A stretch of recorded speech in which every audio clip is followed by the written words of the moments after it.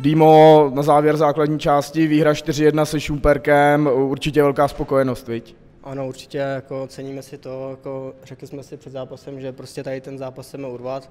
Byl to vlastně poslední zápas jakoby základní části, hlavně doma, takže jsme rádi, že jsme to urvali a vybojovali jsme to tady. Když to vemu v té první třetině, soupeř hodně kousal, nešlo nám to moc. V čem tam byl podle tebe problém? Nezdilo nám to tak, nebo soupeř hodně kvalitní, jak jsi to viděl ty? No, tak soupeř jako hodně brusil, ze začátku nás jako přebrusil, vlastně jak dali toho gola. A pak, když jsme vlastně dokázali srovnat, tak si myslím, že se ta, jakoby, ten poměr sil vyrovnal a pak jsme jakoby, byli za mě jako i lepším soupeřem. No.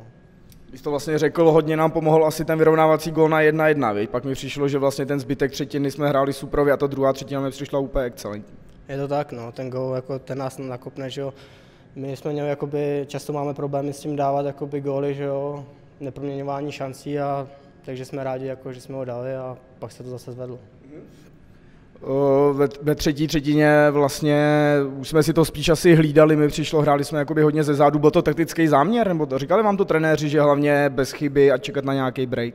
Ano, bylo to tak, čekali jsme, jenom prostě, věděli jsme, že prostě vedeme, že není jakoby kam spěchat, prostě hlídali jsme si hlavně obranu a vyplatilo se to. Soupeř asi hodně nepříjemný, hlavně v té první třetině asi hodně tím pohybem, viď, mi přišlo, takový i důrazný. Je to tak, no, i, když jsme vlastně hráli minule u nich, tak taky to bylo to samé, prostě oni jako dokážou fakt výborně brusit a snažili jsme se, nebo vyrovnali jsme se jim a dokázali jsme je přebrusit a proto jsme taky dokázali vyhrát. U toho čtvrtého gólu si byl takový hlavní strujce ty, nahrál jsi to tam parádně Střechyčovi, jak si viděl ten gólový moment? Jo, tak my jsme nejdřív nám nějak nahodili kotou, čili jsme tam napadat, ono to teda vypadlo z eh, útočné naší třetiny, pak Melís to vzal vlastně po manťáku, přistrčil mi to tam, jeli jsme vlastně jakoby dva na jedno a já jsem to Střechyčovi dal na druhou stranu a on to tam poslal. Mm-hmm.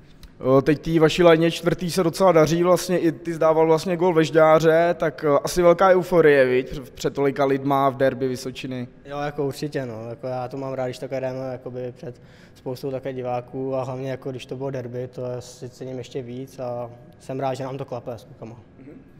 Skončili jsme v základní části, druhý určitě skvělý výsledek, viď? Určitě je to super výsledek a musíme dál makat a ukázat to i tu sílu v playoff aby jsme to dotáhli co nejdál.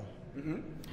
Pokud se nepletu, v sobotu nás čeká doma Vyškov, soupeř, kterýho jsme dokázali dvakrát porazit, takový hodně nepříjemný, mi přijde na breaky, rychlí hráči, jak to vidíš ty? Je to tak, no. s nimi je to vždycky těžký, oni vlastně taky mají malé hřiště, takže víceméně se jako jsme na tom podobně a bude to určitě jako těžký zápas. No. Víme, že tam mají jako i nějaký rozdílový hráče, takže je potřeba se je pohlídat a urvat to doma. Mm-hmm.